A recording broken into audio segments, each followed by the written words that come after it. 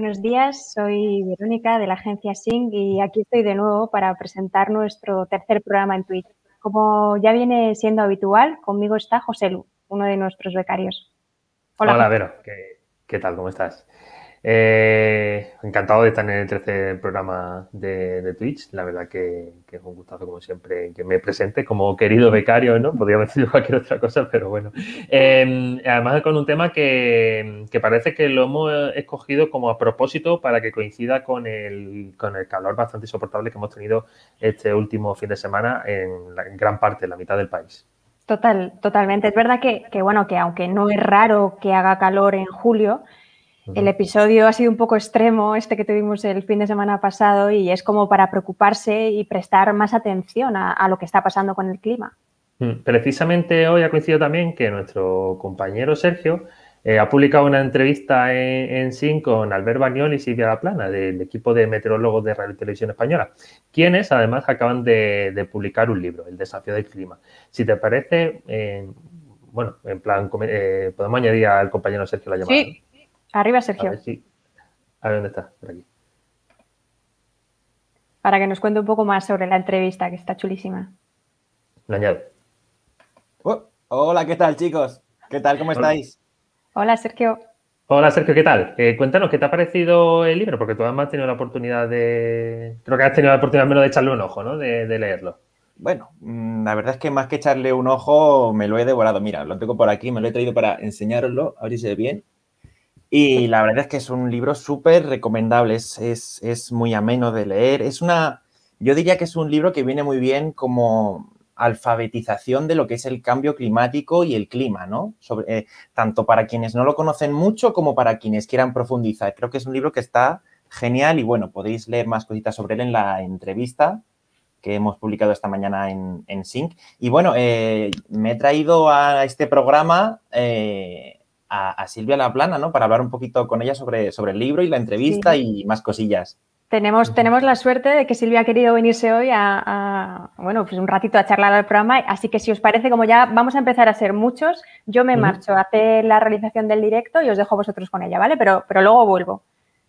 Vale, guay. Bueno, hasta luego. Hasta ahora. Hasta luego. Bueno, y antes de, antes de meter a Silvia, eh, me había preparado, si me dejáis, un, había preparado un vídeo para, que quien no conozca a Silvia, que supongo que no será mucha gente, pues sepa quién es, ¿no? Es la meteoróloga de, una de las meteorólogas del tiempo de, Radio Televisión Española y eh, es coautora de, este libro tan, tan chulo. Os voy a poner un, vídeo, ahora enseguida lo quitamos y, damos paso a, a Silvia. Guay de la repercusión que tiene sobre nuestra salud la, subida de las temperaturas que continúa cada año. Eso es, es un nuevo informe que han publicado en Nature un grupo eh, de investigadores españoles relacionando efectivamente esas temperaturas cada vez más altas con la mortalidad. La temperatura ahora mismo del planeta, si no estuviéramos nosotros, si no hubiéramos generado el cambio climático que hemos generado, sería un grado y medio más baja que la que estamos teniendo. Atención a este dato, el 37% de las muertes por calor en el mundo puede atribuirse ya al cambio climático. Como veis, del calor ya eh, excesivo. La chica del tiempo, como se suele decir, ¿no? Pero eh, sí que es verdad que eh, cada vez están incorporando más contenido sobre cambio climático y creo que nos venía al pelo para, para la entrevista de hoy. Así que quito ya el vídeo y incorporamos a Silvia. A ver si lo hago bien. Sí, ya está por aquí. Hola, Silvia, ¿qué tal? ¿Cómo estás? Hola Silvia.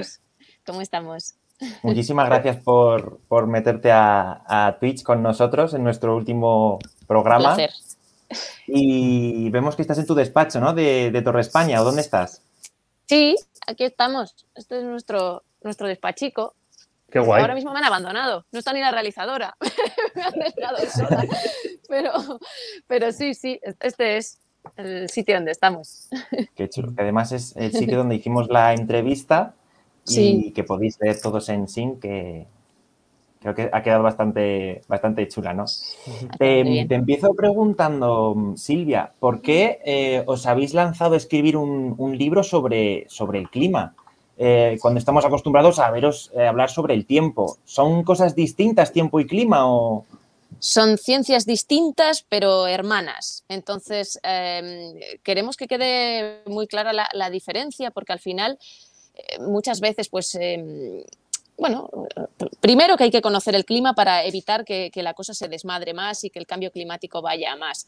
Y, una cosa es el tiempo, es decir, lo que hacemos nosotros, pues eh, qué va a pasar estos próximos días, va a llover, va a hacer viento, la temperatura pues eh, este fin de semana era alta, pero mm, pero bueno, a veces es baja, ¿no? Como un episodio como Filomena, pues por ejemplo, tenemos, tuvimos temperaturas extremadamente eh, bajas y hay que entender que el clima, sin embargo, es un balance a 30 años y eh, de esa media lo que estamos observando es que se está disparando, está subiendo claramente. Entonces, de episodios puntuales, que eso tendríamos que hablar de meteorología, em, se compone el clima. ¿Vale? Sería como los distintos fotogramas de una película, es decir, la meteorología del día a día acaba formando la película entera, que sería el, clima. Tras, tras, tantos años que lleváis eh, recopilando y estudiando y analizando los datos meteorológicos de cada día, ¿qué, eh, ¿cuáles, ¿cuáles o cuáles son las tendencias que más os están llamando la atención? Sin duda alguna el aumento de la temperatura y eso al final deriva en otros factores, pues en el deshielo de los polos, etcétera. Pero el aumento de la temperatura se ha disparado muchísimo, eh, se ha marcado un límite, bueno, con el Acuerdo de París se marcó el límite de no sobrepasar los dos grados y ya llevamos un grado de más. o incluso el año pasado aquí en España tuvimos 1,2 grados por encima de los valores medios. Entonces, para mí la temperatura, desde luego, es, lo básico. Y claro, en cuanto luego a precipitaciones y a, episodios extremos, pues también se está viendo claramente cómo están aumentando esos episodios extremos debido al, cambio climático. Y además, ya por acabar, es que ya no solo lo que se está, mm, bueno, es que lo que se está, lo que está sucediendo ahora es lo que nos estaban diciendo los modelos de los años 90 que eran mucho menos finos que los de ahora, estaban menos evolucionados y aún así son unos modelos que están clavando lo que está pasando hoy en día. Es decir, ¿qué pasará en el futuro? Pues bueno, que todavía, bueno, que pues que lo que estamos prediciendo ahora, lo que los modelos climáticos están dando ahora para el futuro, pues bueno, lo más seguro es que se cumpla. Me decíais, en la, me decíais en, la, en la entrevista que por un lado está bien que esos modelos se cumplan, porque quiere decir que mm. tenemos una ciencia certera más o menos, pero por otro que no está, que no mola tanto porque son datos malos, ¿no? Son muy, muy malos, son malísimos. Pero claro, precisamente por eso, ya que tenemos la, posibilidad de adelantarnos a, eso, a que acabe sucediendo eso, gracias a, esos modelos que nos están diciendo lo que va a pasar, pues bueno, hay que ponerse las pilas ya. Quería preguntar también por lo que hemos vivido recientemente este año, ¿no? Eh, hemos vivido fenómenos extraordinarios como Filomena o, la borrasca Gloria, incluso con anterioridad. Y te quería preguntar, eh, ¿este tipo de fenómenos os ayudan como comunicadores a que la gente comprenda y, interiorice lo que es el cambio climático y sus consecuencias? Yo creo que sí, porque al final eh, son fenómenos extremos que están eh, reflejando que precisamente eh, la meteorología se está extremando, entonces está afectando a personas directamente en el caso de Filomena, pues bueno, afectó a la mayor ciudad de España, que es Madrid, con muchos habitantes que no pudieron salir de sus casas durante unos cuantos días. Con Gloria, por ejemplo, fue el Mediterráneo el que se vio gravemente afectado, en el que mucha gente, pues incluso se quedó sin casas, hubo inundaciones a lo bestia. Eh, entonces, claro, eso a la gente le afecta directamente y les hace recapacitar en, en bueno, lo que está pasando y lo que, lo que va a suceder. Quería preguntarte también por algo que quisiste recalcar mucho en nuestra entrevista em, y es por el calor, ¿no? Eh, estamos viendo en las últimas días o semanas que estamos alcanzando temperaturas ya muy altas, en algunas zonas del mundo, picos históricos, eh, olas de calor. ¿Qué, les suele recomendar a, tus telespectadores o a nuestros telespectadores de Twitch en este caso? Creo que oh, tenemos a Silvia justo. Eh, que sí, que se ha quedado como paralizada en, la respuesta. Vamos a ver si la podemos recuperar en, unos segunditos, Sergio. A ver si a lo mejor recargando la, página puedes. Voy a quitar de la llamada un segundito, a ver si, si puede y tal. Y nada, vamos a darle un poco, a de cariño al chat, que tenemos aquí algunos, algunas personas que se han acercado a esta hora de la mañana a, a saludarnos, ¿no? Por ejemplo, aquí estaba diciendo Salmorejo, poniendo comando Salmorejo, bastante, bastante gracioso. Y aquí, por ejemplo, una de las recomendaciones que seguramente Silvia puede hacer y es eso, abanico y, y, estar al lado de una bebida bien, bien fresquita. De aquí Pablo González Navarro 5, eh, un gran fanático de, de, la sección del tiempo de, de Red Televisión Española, que la ve todos los días a las 4 y 20. Uh -huh. También... Es Sí, perdona, José, lo que decías. No, que te, te voy a preguntar que, volviendo a, a, la entrevista y tal, mientras, si podemos recuperar a, a Silvia, eh, tú tuviste también la, la, la oportunidad de, de entrevistar a, a Albert Barniol, el compañero de Silvia y tal, que justo además ahora ha estado de vacaciones, que por eso tampoco se ha, se ha podido acercar a, a nuestro programa de Twitch. Exactamente, ¿qué, qué, qué tal fue esa, esa, esa, entrevista? Porque además las fotografías, como vemos, son bastante... Mira, aquí justo tenemos a Silvia, a ver si la recuperamos.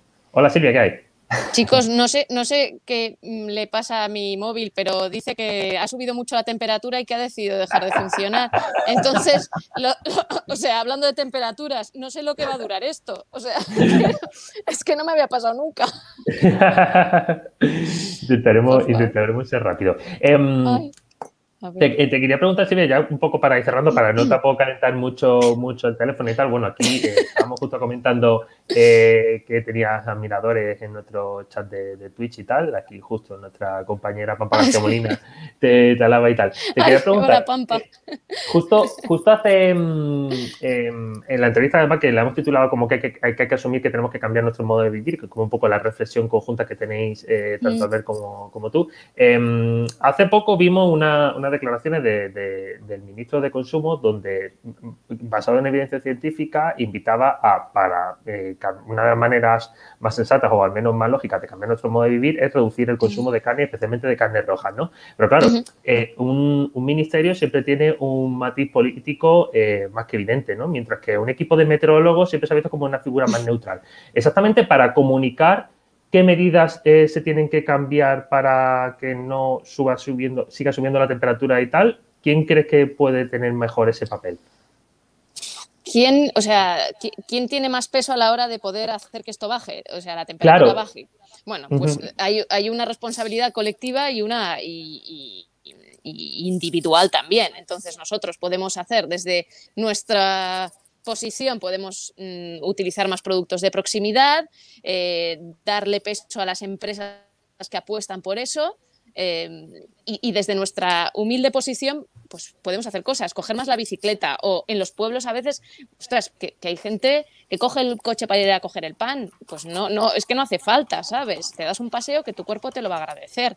Y luego, por supuesto, a nivel de, de, de, de bueno, de política de grandes empresas, o sea, tienen mucho trabajo que hacer y para ayudarnos a que disminuyan los precios de los eh, coches híbridos, a que la para coger una bici necesitas que la infraestructura de una ciudad esté preparada para poder utilizar esa bici y que no te atropellen, pues bueno, o sea, hace falta que nos echen una mano también. Son, vamos, son los que más tienen que, que tirar del carro. Claro, claro, claro. Mira, dice eh, Pablo González Navarro que se está leyendo vuestro libro y que es, es fantástico. Ay, cuánto me alegro, Pablo. Eh, vamos, eh, ojalá, ojalá, vamos, sirva, sea un, nuestro granito de arena. Es que es, al final es una responsabilidad moral. Es que teníamos que hacerlo. No, no podemos quedarnos de, de, brazos cruzados con lo que está cayendo.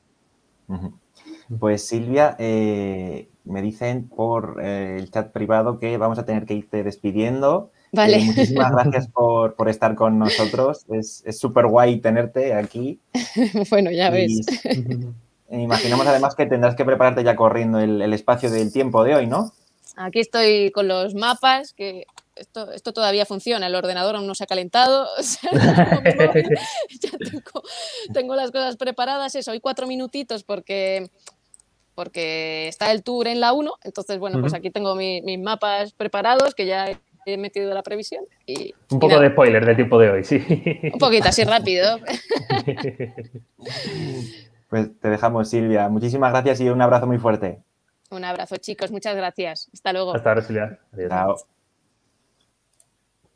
Uy. Me quedo yo aquí en grande justo. Bueno, pues ahora vamos a... Mm, me gustaría que abordáramos la crisis climática y tal, ahora que hemos estado hablando de, temperatura, de, episodios extremos como el de este fin de semana o el que tuvimos en enero en mitad de la península y tal, que es a través directamente de, de la SAUR. Em, porque hay una rama de, la investigación en clima y tal que, relaciona precisamente estos eventos climáticos extremos, tanto Filomena cuando lo tuvimos en su momento, como los episodios de calor que hemos tenido este último fin de semana, pero que a lo mejor también tendremos en el resto del verano, con un exceso de mortalidad, o sea, más muertes de, la media. Sí, además es un tema que desde SINC hemos tratado más de, en más de una ocasión y para quien quiera bucear tenemos por ahí algún alguna noticia o algún reportaje que está bastante, bastante chulo. Bueno, y para hablar de este tema, eh, hemos traído, voy a leerlo para no, para no equivocarme, a Julio Díaz, que es investigador de la Escuela Nacional de Sanidad del Instituto de Salud Carlos III. Voy a añadir a Julio, si te parece. Hola Julio, ¿qué tal? ¿Cómo estás? Hola, buenos días, ¿cómo estáis? Hola, buenos días, ¿qué tal? ¿Me escuchas bien, no? Perfectamente. ¿Qué tal? ¿Qué tal? Encantados. Em, precisamente quería, quería preguntarte, empezar la conversación, Julio, porque tú eres eh, director de la unidad de referencia en cambio climático, salud y medio ambiente urbano, ¿no? Además, dos em, eh, eh, temas que están estrechamente relacionados, o al menos eso es lo que investiga la, unidad de referencia que compones tú y la investigadora Cristina Linares, ¿no? Que la, con la que principalmente publicas y hace divulgación. quería empezar preguntándote, ¿cuál es el objetivo o los objetivos de, esta unidad de trabajo? Pues mira, eh, bueno, en primer lugar, daros las gracias pues, por estar hoy aquí con vosotros y por la entrevista que, ayer subisteis a SIN, que hizo Eva Rodríguez. Eh, pues mira, esta unidad tiene varios objetivos. Primero, en primer lugar, un objetivo a nivel institucional. Eh, hace cuando la directora del ISTI, Raquel Yotti, eh, fue, asumió la dirección, uno de los objetivos que se marcó fue hacer unidades transversales. Y una de ellas era salud ambiental. Entonces, eh, para todo el instituto. Nosotros con esta unidad que se monta en la Escuela Nacional de Sanidad, lo que pretendemos ser, es ser precisamente el primer embrión eh, para esa unidad transversal para todo el instituto. luego, además de ese valor institucional, hay un valor científico no solamente el cambio climático eh, son temperaturas, es incremento de los eh, factores de las temperaturas extremas, hay muchos más factores. Eh, y estamos hablando de sequías, incendios forestales, enfermedades transmitidas por vectores, o sea, son muchísimos.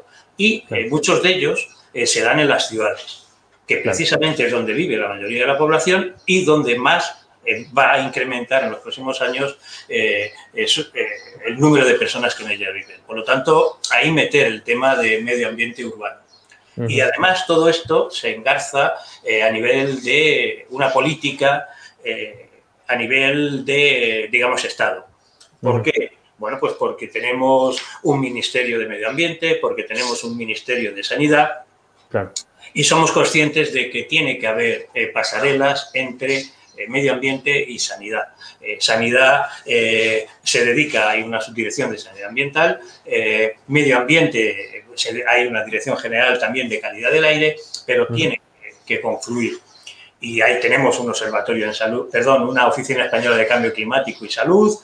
o sea, digamos que se está formando una especie de interrelación cada vez más profunda entre estos ministerios, que nosotros pensamos que es así como tiene que ser, y por lo tanto está muy bien el poder facilitar eh, con una unidad específica para las posibles, eh, digamos, solicitudes que se hagan de información, de investigación, etcétera, etcétera. Claro. Eh, justo cuando hablamos de la relación entre cambio climático y salud, yo mismo, para introducirte, lo, he mencionado, lo primero que se nos viene a la cabeza son eventos meteorológicos extremos, ya sea de calor, ya sea de, frío y su relación con la mortalidad. Pero ah, vuelvo a decir de que hay mucha una relación que está compuesta de muchos más factores, ¿no? Que, por ejemplo, de mortalidad directamente relacionada con la contaminación atmosférica o eh, transmisión de enfermedades tropicales que se propician más en diferentes entornos. Sí, bueno, el cambio climático, o sea, yo creo que hay que eh, sobre todo separar dos aspectos, lo que se llama el calentamiento global de lo que es el cambio climático. Entonces, el cambio climático es mucho más que subida de temperaturas. Esto, por ejemplo, eh, nosotros estamos trabajando eh, con aumento de sequía. y cómo influyen las sequías en la salud. La gente eh, desconoce que la sequía tiene un impacto en mortalidad. Nosotros tenemos estudios publicados en los que para España eh, relacionamos eh, la intensidad de la sequía con el incremento de mortalidad por enfermedades cardiovasculares y respiratorias. Están los incendios forestales. Los incendios forestales se piensa que solamente son las personas afectadas aquellas que están próximas al incendio. Estamos viendo eh, que el efecto de un penacho, en España lo tenemos también estudiado, eh, pues, eh, puede llegar a 400 o 500 kilómetros del foco del incendio, puede incidir ese penacho. Y eso tiene efectos también a nivel de mortalidad por causas cardiovasculares, respiratorias, con partos prematuros. Luego estamos hablando, bueno, uno de los principales problemas que hay de cambio climático va a ser la pérdida de biodiversidad. la pérdida de alimentos, precisamente, la falta de alimentos en aquellos lugares eh, donde eh, su sistema, eh, digamos, es más precario. Estamos hablando de que si hay una sequía y luego una inundación, pues las economías de subsistencia que se basan en la agricultura y en la ganadería, cada vez lo van a tener peor. Es decir, vamos a ir a cada vez más hambre. Mm. ¿Y eso qué va a, provocar? Bueno, pues sobre todo lo que va a provocar son el principal problema que yo veo en relación al cambio climático y salud son los desplazados por el clima las grandes migraciones climáticas. Ahora mismo hay más desplazados por el clima que por las guerras. Por lo tanto, y no solamente ocurre eh, entre países, sino dentro de un propio país. Entonces, todo lo que estamos viendo eh, nos lleva a, tener que dar ese enfoque global que veíamos antes. Una de las cosas, Julia, que me llama la atención de vuestras investigaciones es que dejáis de manera muy clara y muy evidente la importancia de, los factores socioeconómicos y cómo impactan estos a la hora de adaptarse al, cambio climático. Para los que a lo mejor no están tan puestos en este tipo de investigaciones, ¿podría explicarnos exactamente esta relación? Pues sí, mira, es que yo creo que eh, la adaptación no lo decimos nosotros, lo dice la OMS, eh, eh, se tiene que realizar a nivel local. O sea, eh, lo que está claro es que los factores locales son los que están incidiendo en que una ciudad o una provincia eh, se esté adaptando o no. Eh, entonces, hay que buscar las causas. O sea, ya no tiene mucho sentido seguir hablando de que mata el calor, no mata el calor, cuánto mata el calor, dónde mata más el calor, en qué provincia, en qué ciudad del mundo. No. Porque ya hay evidencia. Hay, que, empezar a dar soluciones, porque eso ya, ya, ya, ya está pasado, ya hay evidencia, ¿no? Entonces, nosotros lo que hemos visto es que hay que ir a un nivel eh, cada vez más, más fino. Y se está viendo que hay múltiples factores que están incidiendo. Por ejemplo, a nivel incluso de, dentro de una misma ciudad por barrios. Hemos hecho un estudio en Madrid eh, según los diferentes distritos y hemos visto que en los barrios, en los distritos, mejor dicho, en los que el calor tiene mayor impacto, produce más muertes, son aquellos donde tienen menor nivel de renta donde hay eh, mayor número de viejecitos, donde las, eh, construcciones eh, son peores. Por lo tanto, lo que hay que hacer precisamente, hay factores que no se pueden modificar. Yo no puedo modificar la pirámide demográfica. O sea, no puedo modificar el número de viejecitos que hay. Pero sí hay otros factores que sí los podemos modificar. Sí se pueden hacer una rehabilitación de edificios. Y se ve que los edificios de nueva construcción o los edificios rehabilitados también inciden en una mejora en relación a los impactos del cambio climático. Y luego hay otras de carácter sociosanitario. Eh, se ve que en los lugares donde, sobre todo en ambiente rural, eh, donde hay el mayor número de, eh, de, asistentes sanitarios, tanto médicos como enfermeras, el impacto del calor es menor. O sea, que hay cosas que hay que bajar a nivel micro para poderlas ver. Y, por supuesto, uno de esos factores clave pues es el nivel de, es, es el nivel de renta. O sea, ya no vale eh, con decir eh, aire acondicionado o no. Es que el problema está en poder poner el aire acondicionado. En el, o sea, en la pobreza energética para poder tener tu casa eh, fría en verano y, caliente en invierno. Entonces, esos factores yo creo que tenemos que bajar a esa escala y de hecho tenemos un estudio hecho para toda España sobre la adaptación y hay provincias que se están adaptando muy bien a lo que ha subido la temperatura, me refiero a la adaptación al calor, ¿eh? pero hay otras provincias que están muy mal. O sea, hay unas provincias que se han adaptado a un ritmo superior al que ha subido la temperatura y otras que ni siquiera eh, consiguen llegar al nivel mínimo. Entonces hay que ver por qué en unas sí y en otras no. ¿Para qué? Para que a la hora de poder destinar recursos vayan hacia aquellos lugares, hacia aquellas provincias y en aquellos temas que pensamos que pueden ser eh, las claves para esa adaptación al calor en este caso.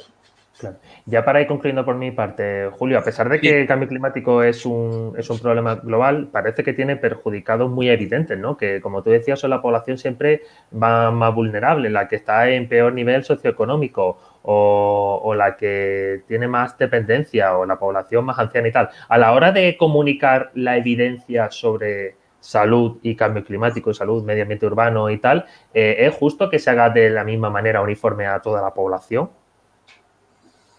Bueno, nosotros lo que estamos viendo es que la información a la población es clave. O sea, lo que eh, no tiene mucho sentido es que en investigación eh, la labor de un investigador termine cuando publica un artículo. ¿Por qué? Pues porque ese artículo lo van a, leer muy pocas personas y además personas que ya están sensibilizadas en el tema. Nosotros lo que pensamos es que eh, si queremos que la sociedad eh, sea permeable a los cambios que se van a producir o que se están produciendo, mejor dicho, te tiene que estar informada. O sea, si nos dicen que tenemos que dejar el coche en casa, tenemos que saber por qué. Por lo tanto, pensamos que esa información debe llegar a la sociedad. Pero no tenemos que ser los científicos. ¿Por qué? Pues porque no es nuestro trabajo. Hay expertos que se dedican a estas cosas. Son los educadores ambientales son ellos los que saben cómo transmitir realmente los mensajes a la sociedad. Los científicos, por mucho que tú intentes hacerlo, pues, pues utilizas términos que, tú crees que son de uso común y no lo son. Por lo tanto, eh, pensamos que eh, esa concienciación social es importantísima y sobre todo si se quieren hacer transformaciones de calado como nos exige eh, la mitigación en cambio climático. O sea, la mitigación en cambio climático, lo decía Silvia, tiene que ser muy, muy profunda. Y como yo soy pesimista, bueno, también soy físico como Silvia, y sé por dónde van los modelos, puesto que la mitigación probablemente no llegue, tenemos que ir a la otra pata, que es la adaptación. Por eso nuestra insistencia en adaptación, porque probablemente en la mitigación se quede corta en esos dos grados de los que estamos hablando. Eh, Julio, si te parece, te hago alguna pregunta que nos están dejando los espectadores del programa en, el canal. Eh, preguntaba Pampa que si el concepto de pobreza energética se está tomando en cuenta desde las administraciones. El Pampa. Eh, el concepto de pobreza energética está cogiendo cuerpo. Entonces, eh, es algo que, que, ya se empieza a hablar, que ya se empieza a manejar y que ya tenemos las evidencias científicas para que darle consistencia a ese, a ese mensaje. Eh, o sea, lo que muchas veces ocurre es que se utilizan términos eh, que no tienen eh, la, la, consiguiente, digamos, relevancia científica y que no se utilizan con el conocimiento necesario. Me explico mejor.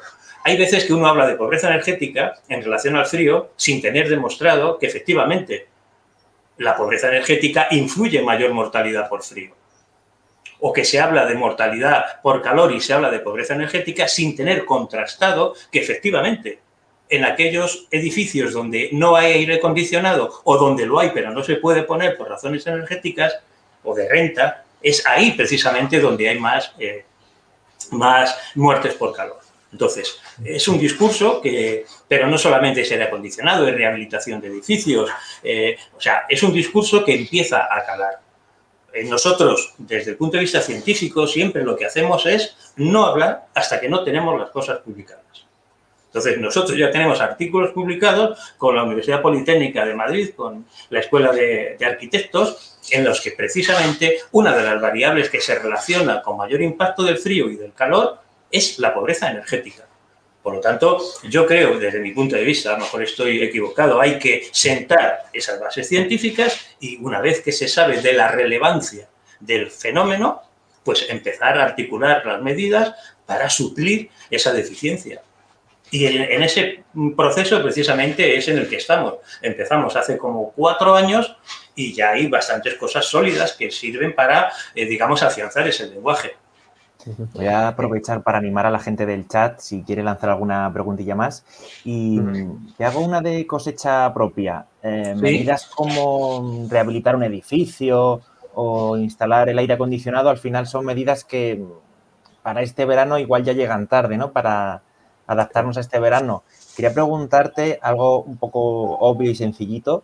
¿Qué, em, qué, recomendaciones darías a la gente que nos está viendo para protegerse del calor durante este verano? Mira, eh, voy a decir una cosa que, a lo mejor es una obviedad, ¿no? Y una de las cosas que nosotros eh, tenemos demostrado que ha funcionado en, en la disminución de la mortalidad eh, por calor en España. La mortalidad, por calor en España ha bajado de un 14% por cada grado de lo que nosotros llamamos temperatura de ola de calor, de un 14 a un 2. O sea, ha bajado muchísimo. Nosotros estamos convencidos que, ah, bueno, evidentemente hay muchísimos factores. Ahí están los planes de prevención, están las mejoras sociosanitarias, económicas, pero una de ellas ha sido lo que se llama la cultura del calor. O sea, la gente, los viejecitos, que son el grupo de riesgo y las viejecitas, ya saben que el calor mata. Entonces, ya saben que no pueden salir en las horas centrales del día, ya saben que se tienen que hidratar, ya saben que tienen que ir con una gorra, eh, ya saben eh, que no pueden ponerse al sol. Eso está siendo clave para bajar esa mortalidad, esa cultura del calor. y hay un ejemplo muy claro. decíamos que el efecto del calor ha bajado. El único grupo en el que no ha bajado, el grupo de edad, es el de 18 o 45, que es precisamente donde están la gente que tiene que trabajar al aire libre. Pues precisamente eso es un grupo de los que son de especial susceptibilidad, además de las ancianas, de las embarazadas, las personas que trabajan al aire libre y sobre todo bueno, aquellas personas que haciendo, eh, no haciendo caso a los consejos se ponen a montar en bicicleta o a hacer footing a las 4 de la tarde con 40 grados. Entonces, eh, ese tipo, o sea, son cosas de sentido común, de sentido común, o sea, refrescar tu casa en las horas centrales, en las horas eh, de, primera hora de la mañana, que es cuando se la temperatura mínima, bajar las persianas y cerrar a, a las 3 de la tarde, no salir a las 3 de la tarde, hidratarse, si puedes ir a un sitio con aire acondicionado, ir a un sitio con aire acondicionado. Uno de los problemas que hubo el año pasado eh, fue precisamente con la COVID, eh, la imposibilidad de que los ancianos estuviesen en lugares refrigerados. Eh, bueno, pues, pues, pues, ya se puede ir a lugares, bibliotecas, centros de día, digamos las cosas normales que, que cualquier persona con dos dedos de frente hace. Em, Julio, para no quitarte ya más, tiempo, em, antes de, despedirte, he compartido por, el chat eh, la cuenta donde vuestro grupo de, referencia eh, divulga y además eh, opina, simplemente para que la gente también tenga hecho un ojo a partir de ahí, porque creo que las opiniones y las entrevistas y artículos que metéis ahí, pues la verdad que son muy interesantes. lo dicho, no te robamos más tiempo. Muchísimas gracias por pasarte por nuestro programa de Twitch. Oye, pues muchísimas gracias a vosotros y hasta la próxima. Un placer. Gracias. Hasta ahora. Bueno, Sergio. Bueno. Em, no te vayas muy lejos. no me voy. Aquí tenía aquí apuntado, tengo que despedir a Sergio. No, no te vayas muy lejos porque además voy a meter por aquí a Vero para que podamos despedir esto en condiciones. Hola, Vero, ¿qué tal? Hola, he vuelto. Eh, bueno, pues eh, yo creo que, vamos cerrando ¿no? los programas de Twitch, pero, pero volvemos en septiembre como, el curso escolar, ¿no? Ha sido, bueno, pues eh, un verdadero honor compartir estos primeros programas con, vosotros, con el chat y, con todos los que nos ven en diferido en, YouTube. Qué guay, qué guay, qué guay. Ha sido breve, pero muy bonito a la vez, ¿no? Han sido solo tres, pero, pero yo creo que, ha estado guay. Pero volvemos en septiembre, ¿eh? Tampoco... Eso te iba a decir, o sea, hemos, hecho tres, que la verdad que a mí me ha, encantado las personas que hemos traído, la, acogida que se le está dando tanto en directo como, como, como, en Twitch y tal. Y ahora tenemos el compromiso de volver en septiembre con la vuelta del curso escolar. Oye, ¿cómo nos despedimos? ¿Lo vamos a, conseguir esta vez? Esta vez me ha apuntado al menos un canal para poder hacer una raid en condiciones. No seas pesimista, Sergio, ya verás. Es que viendo los precedentes, no sé, no sé. Ojalá a iniciar RAID y sale en 10 segundos. O sea que en 10 segundos estamos fuera. Pues nada, vamos a despedirnos entonces. Que sea rápido. Chao. Nos vemos. Buen verano. ahora. Debería salir.